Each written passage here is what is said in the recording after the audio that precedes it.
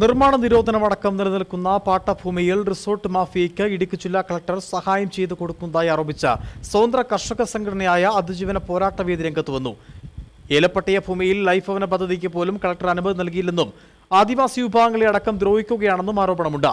വാഗമണിലെ കയ്യേറ്റഭൂമി പിടിച്ചെടുക്കുന്നതിൽ ജില്ലാ കളക്ടർ ഒളിച്ചുകളി നടത്തുകയാണെന്നും അതിജീവന പോരാട്ടവേദി നേതൃത്വം ചൂണ്ടിക്കാണിക്കുന്നു.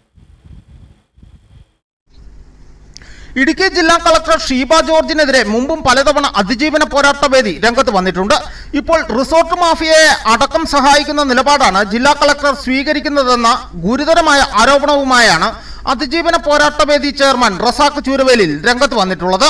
നിർമ്മാണ നിരോധനമടക്കമുള്ള സങ്കീർണ ഭൂപ്രശ്നം നിലനിൽക്കുന്ന മേഖലയിൽ പാട്ടഭൂമിയിൽ വൻകിട റിസോർട്ടുകൾക്ക് അനുമതി കൊടുക്കുന്ന നിലപാടാണ് ജില്ലാ കളക്ടർ സ്വീകരിച്ചിരിക്കുന്നത്.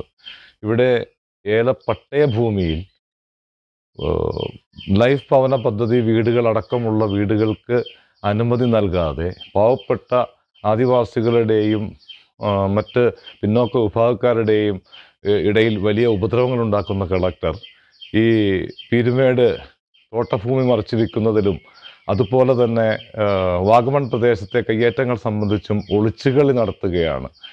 ഈ വിഷയത്തിൽ ഉന്നതല റവന്യൂ ഉദ്യോഗസ്ഥരും ഉണ്ടെന്നാണ് ഞങ്ങൾ കരുതുന്നത്. വിഷയത്തിൽ കോടതിയെ സമീപിക്കുമെന്ന് കഴിഞ്ഞ ദിവസം അതിജീവന പോരാട്ട വേദി നേതൃത്വം അറിയിച്ചിരുന്നു. News bureau Udumbanchola.